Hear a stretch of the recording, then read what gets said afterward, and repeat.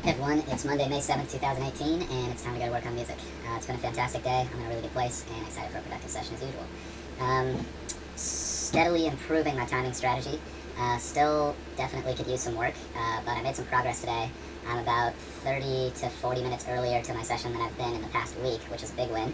Um, and, you know, that's still not where I want to be, but uh, I, I think I know what the next step is to get me there, and this is, you know, this is the big leverage point for me right now, so it's good to focus on it, and you know, I'm not proud of the struggles.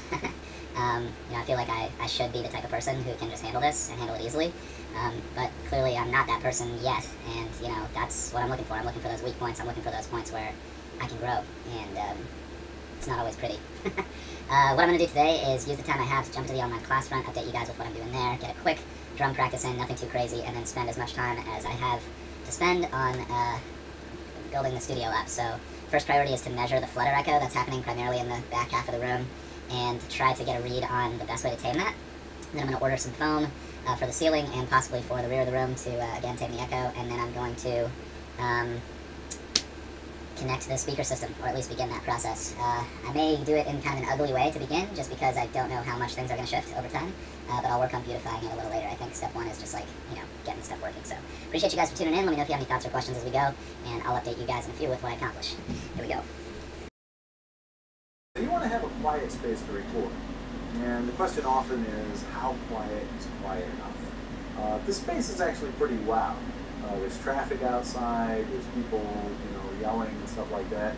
And yet, you know, we're able to record here pretty well. Now, if you record in a space like this, you've got to be willing to do a take again if there is a motorcycle that goes by or something like that. But you can do it. You can do it. So I would encourage you to record in your apartment, if you're home.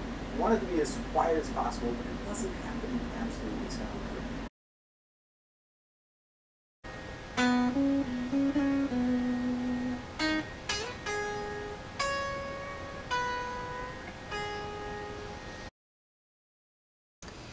Good day overall. Just clipping through some of the different spaces. Hit the online class front and just was reminded that uh, sound absorption is different than sound proofing. Sound absorption, which I'll talk more about as I get into the intricacies of what I'm doing with the studio here, uh, is more about controlling echo and uh, sound bouncing off walls in your space, whereas sound proofing is trying to prevent sound from actually leaving the room in the first place or entering the room in the first place. But the main tip the uh, instructor gives is like it's fine to record in rooms where there might be outside noise as long as you're willing to do an extra take if a motorcycle goes by or something like that.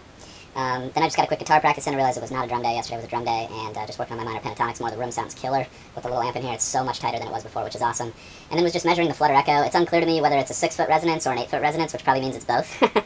so my eight foot resonance, my guess is ceiling to floor resonance, which I suspected. And then my six foot resonance, my guess is it is the side to side walls, which are about 12, 12 and a half feet apart in this room.